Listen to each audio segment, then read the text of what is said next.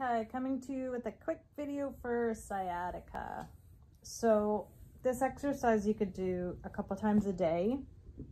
Um, but the thing about it is to make sure you stretch out a little bit first.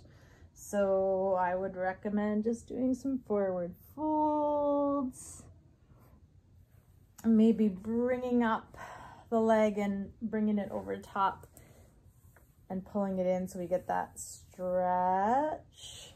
So before you do the actual exercise for the sciatica, just make sure you've done some stretching, some loosening up first.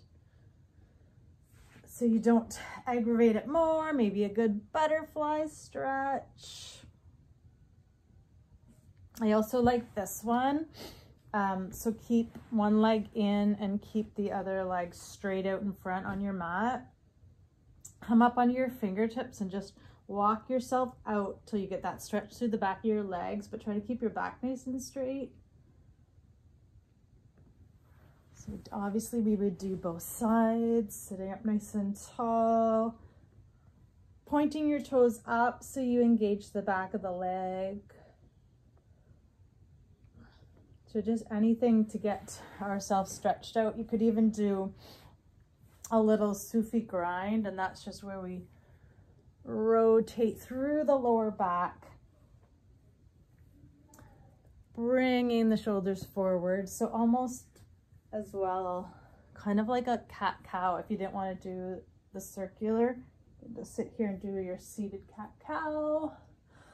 Or you could come down on all fours and do your cat-cow.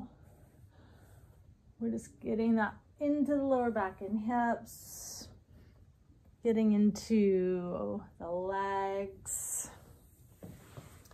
So straight legged again. You can come off to one side, put your palms down and just press away.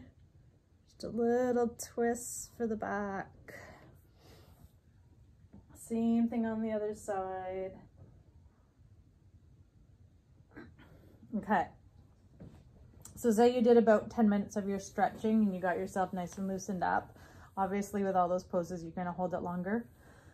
So for the sciatica, what you wanna do, take your hands just under your thighs or just above your knees. You're gonna point your toes and you're gonna slump over. So my back is curved and then toes point up and I sit tall. You're just gonna go back and forth like this. So what this is doing, this is nerve flossing. And it's the nerves that come from our lower back and then run down like this, that flare up. So by doing this, we're flossing that nerve. So it unsticks. So you're just gonna go maybe like 12 times and you're flowing, so you're not holding. You're you want that nerve to be moving. So we're just doing this little action.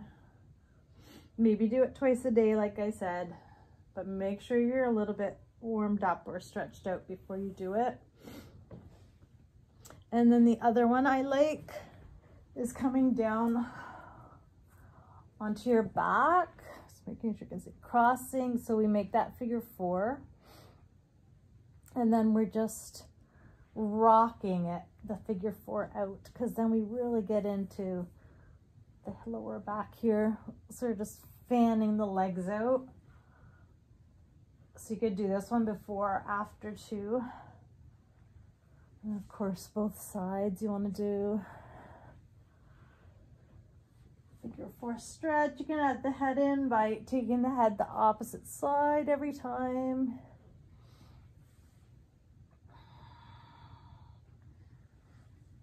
Good. Beautiful.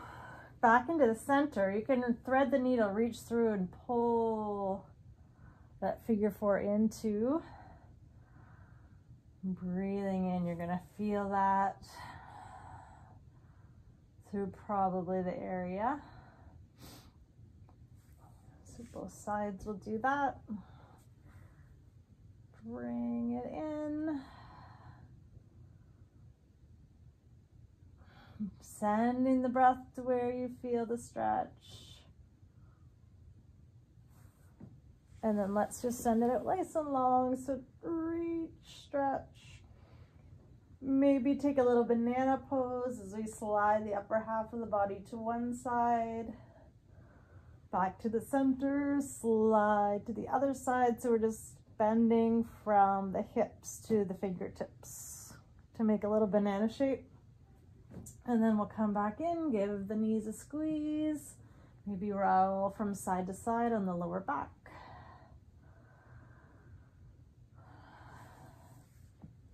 And there you go. Some little exercises for your sciatica.